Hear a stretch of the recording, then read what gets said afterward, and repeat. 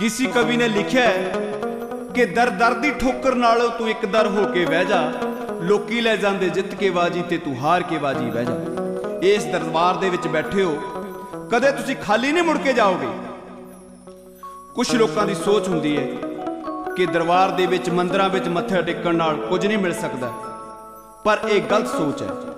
ਮੈਂ ਦਾਵਾ ਕਰਦਾ ਕਿ ਇੱਕ ਵਾਰ ਸ਼ਰਧਾ ਲੈ ਕੇ, ਦਿਲ ਦੇ ਵਿੱਚ ਆਸ ਲੈ ਕੇ ਉਸ ਨੂੰ ਸੱਚੇ ਦਿਲ ਨਾਲ ਇੱਕ ਵਾਰ ਮੰਗ ਕੇ ਤਾਂ ਦੇਖੋ। ਕਿਆ ਨਹੀਂ ਦਿੰਦੀ ਮੇਰੀ ਮਾਂ? ਸਭ ਦੀਆਂ ਮਨੋਕਾਮਨਾ ਪੂਰੀ ਕਰਦੀ ਮੇਰੀ ਮਾਂ। ਆਓ ਭਗਤੋ, ਆਪਾਂ ਇੱਕ ਵਾਰ ਮਹਾਮਾਈ ਦੇ ਦਰਬਾਰ ਦੇ ਉੱਤੇ ਝੋਲੀ ਅੱਡ ਕੇ ਮੰਗ ਕੇ ਦੇਖੀਏ। ਸੱਚੇ ਦਿਲ ਨਾਲ ਮੰਗ ਕੇ ਦੇਖੀਏ। ਮਹਾਮਾਈ ਸਭ ਦੀਆਂ ਝੋਲੀਆਂ ਭਰ ਦੇਵੇਗੀ। ਜਕਾਰਾ ਸੱਚੀਆਂ ਜੋਤਾਂ ਵਾਲੀ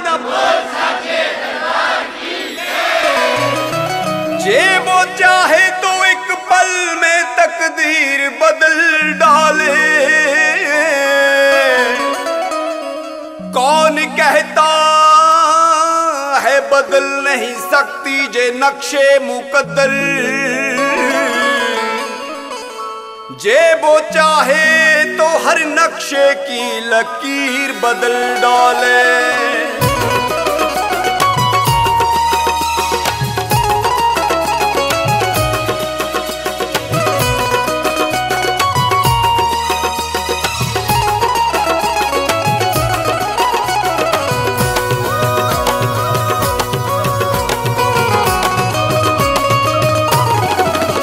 कौन कहता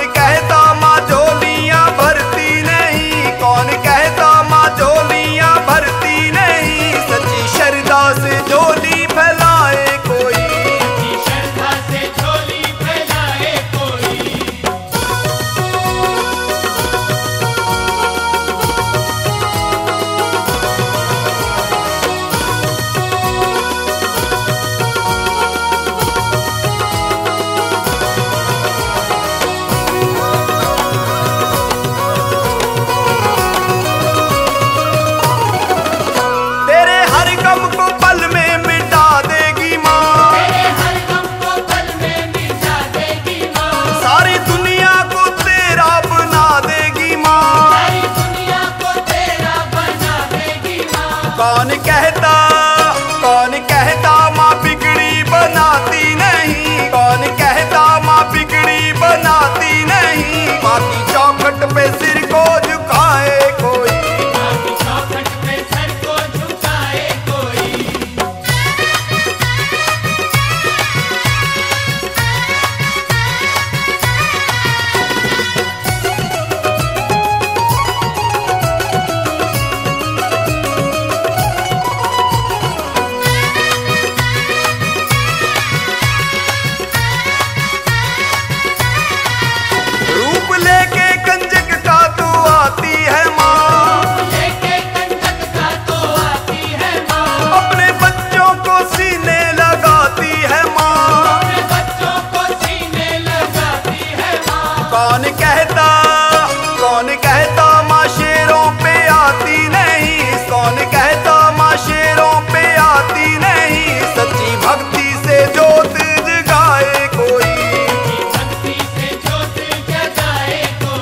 कौन कहता मदद